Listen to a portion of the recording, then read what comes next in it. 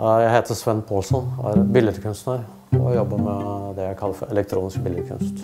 Og har gjort det i ganske mange år. Fulgt, uh, fra jeg starta på akademiet som maler, så begynte jeg allerede tidlig med elektronisk kunst. Holdt på siden ja, midten av 90-tallet. Jeg startet som maler, ja. Kom inn på akademiet som maler og begynte å male. Men dette er i tiden da da det begynner å komme datamaskiner og en, en, det jeg føler er en revolusjon, også innen det visuelle. Så det har jeg veldig lyst til å jobbe med, og begynner ganske fort å gå over på det mediet. Altså den, den helt bastante fordommen var jo at uh, datamaskinen kunne ikke lage kunst. Kunne ikke lage kunst med det. Det, det vil aldri bli noe verktøy for å lage kunst men det ble det.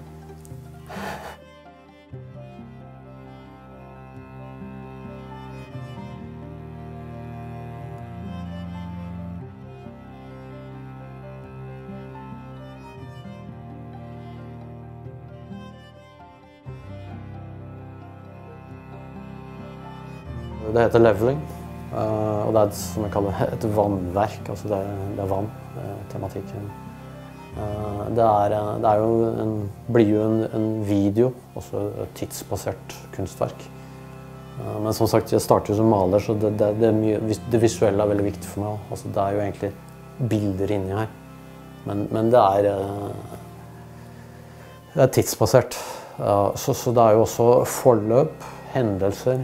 Og det som er viktig for meg i dette tilfellet, er jo på en måte når det er en, også en utsmykning og skal være altså være, å være et sted i dette bygget, så, så er det også eh, jobbe med at det er kontinuerlig og uendelig.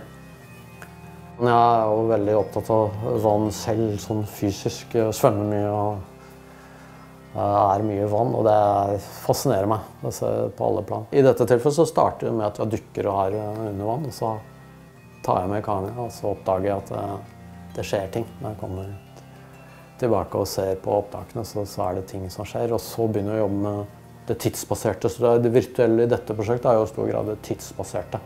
Altså det å strekke ut tiden. Sånn som, eh, og da blir det det menneskelige igjen, altså hva vi oppfatter til vanlig. Så, så, oppfatter vi jo det vi mener vi oppfatter fra øyne og hjerne. Men uh, hvis man har veldig uh, slow motion, veldig høy hastighet, så ser vi jo mye mer enn vi har oppfattet.